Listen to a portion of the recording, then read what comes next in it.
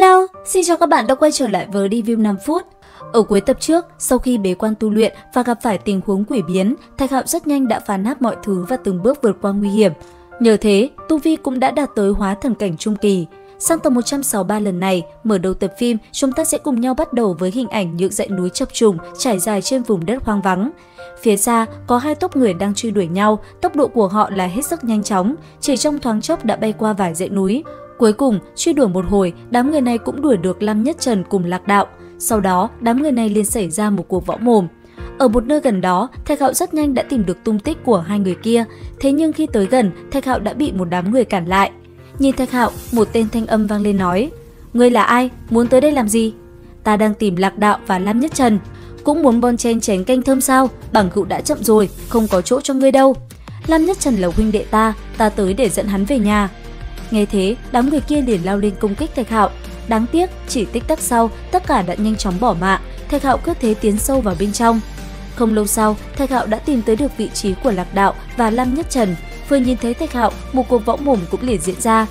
Thấy Thạch Hạo như vậy, cái tên đầu mọc sừng thanh âm vang lên nói: "Ngươi cảm thấy mình rất mạnh sao? Dựa vào cái gì muốn mang người đi?"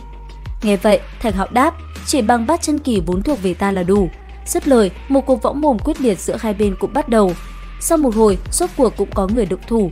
Nhất thời, ở dưới mặt đất xuất hiện một con bọ cạp với hàng chục cái đuôi chứa đầy nọc độc liền lao về phía Lạc Đạo và Lam Nhất Trần và công kích. Thấy vậy, phù văn sáng lên, Lạc Đạo cùng Lam Nhất Trần cũng mau chóng dùng ra một tầng phòng ngự đón đỡ. Thấy thế, Thạch Hạo cũng lập tức lao lên, ngay sau đó, chiến giáp cũng liền bao phủ lấy cơ thể, một mình chống đỡ lại 8 tên cường giả bảo vệ Lạc Đạo cùng Lam Nhất Trần. Nhất thời, một cuộc chiến quyết liệt giữa hai bên cũng liền diễn ra. Đầu tiên là tên tóc bím, hắn ta kết ấn, nơi đây liền hiện lên ánh kiếm ngập trời, hàng trăm ngàn cây kiếm cứ thế lao về phía Thạch Hạo và công kích anh ấy. Thấy thế, trên tay Thạch Hạo, chiến mâu rất nhanh xuất hiện, cầm nó trong tay, anh ấy liền phá đi ảnh kiếm đang lao tới. Chứng kiến sự mạnh mẽ của Thạch Hạo, cái tên đầu trâu cũng liền động thân, một hư ảnh con trâu vàng cũng liền xuất hiện, lao về phía trước. Đối diện với con trâu kia, nắm đấm trên tay Thạch Hạo ngưng lại, một quyền khủng bố đánh thẳng về phía đối thủ, chấn bay con trâu kia ra xa. Thế vậy phía xa, một tên liền mở ra con mắt giữa chán, công kích liền phóng thẳng về phía Thạch Hạo. Đáng tiếc, tất cả những đòn này đều bị Thạch Hạo né tránh, công kích cũng trượt hết. Thế nhưng, sau đòn đó, bất chợt hư không xuất hiện một vòng xoáy, từ trong đó, một thân ảnh nữ nhân cầm trong tay lưỡi hái đã vung xoẹt qua đầu Thạch Hạo, khiến anh ấy phải né tránh hết sức vất vả. Lúc này, đến lượt nữ nhân mặc áo giáp trụ đỏ, cô ta liền hóa thành một con bọ cạp lao tới cắm thẳng cái đuôi về phía Thạch Hạo. Thế nhưng cũng đúng vào lúc đó, chế mâu trong tay Thạch Hạo vung ra, nơi đây liền bị phủ văn bao phủ. Sau đó, ở giữa trung tâm, nữ nhân kia liền bị phủ văn vây nhốt ở bên trong, toàn bộ cơ thể cũng không nhúc nhích được chút nào. Thấy vậy, những người khác nhanh chóng ra tay, công kích như mưa đồng thời đánh thẳng về phía Thạch Hạo. Thế vậy, hai cánh sau lưng khẽ động, Thạch Hạo linh cầm chiến kích, sau đó ngưng tụ ra lôi địa khủng bố bạo phát, đánh mạnh ra xung quanh. Chúng một đòn lôi điện của Thạch Hạo, toàn bộ đám người ở nơi đây như bị tê liệt.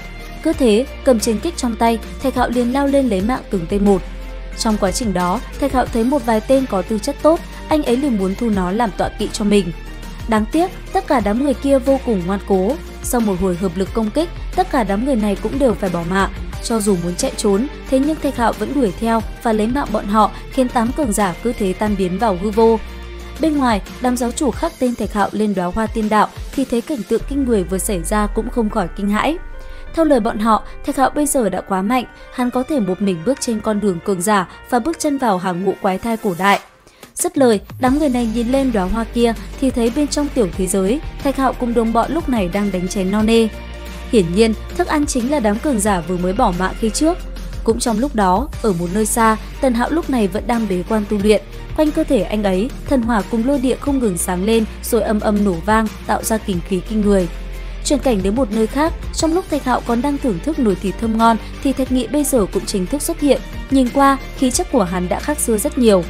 Và liệu rằng tập 163 sẽ còn gì hot? Theo dõi kênh để biết thêm chi tiết nhé. Xin chào và hẹn gặp lại!